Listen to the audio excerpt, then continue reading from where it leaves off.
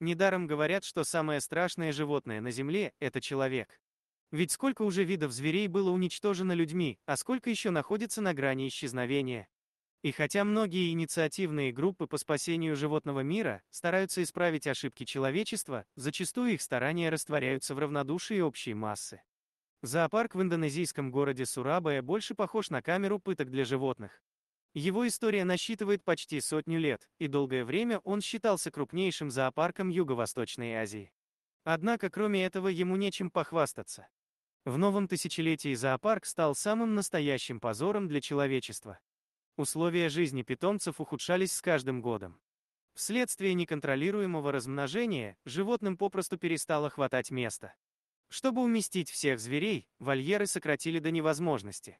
В 2010 году группа энтузиастов начала бить тревогу после того, как в течение короткого времени умерло несколько зверей, включая представителей экзотических видов комодский варан, африканский лев, суматрийский тигр и несколько крокодилов. Несмотря на довольно бурную реакцию в прессе, руководство зоопарка не предпринимало никаких действий.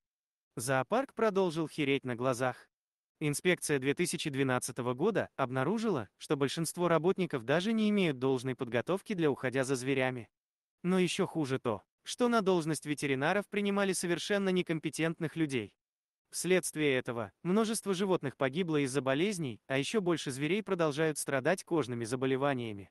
С каждым годом условия в зоопарке становятся все хуже и хуже. Несмотря на довольно внушительное финансирование из госбюджета, животные живут впроголодь. При вскрытии одного из умерших жирафов у него в желудке обнаружили 18 килограммов целлофана.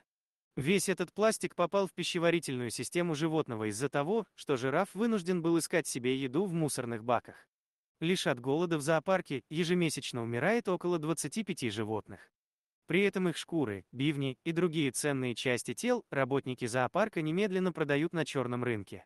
По слухам, лишь на этом зоопарк зарабатывает около 5 миллионов долларов в год. Неравнодушные граждане собирают подписи под онлайн-петицией с требованием, чтобы правительство Индонезии немедленно закрыло зоопарк. По состоянию на март петиция собрала уже более 750 тысяч подписей. Нельзя оставаться равнодушным, глядя на эти ужасающие кадры. Если ты хочешь внести посильный вклад в спасение животных, поделись этим видео, чтобы как можно больше людей смогло узнать об этой проблеме. Спасибо за уделенное внимание. Если вам понравилось видео, поставьте лайк, а также подпишитесь на наш канал и не забудьте нажать на колокольчик и оставить комментарий. До новых встреч!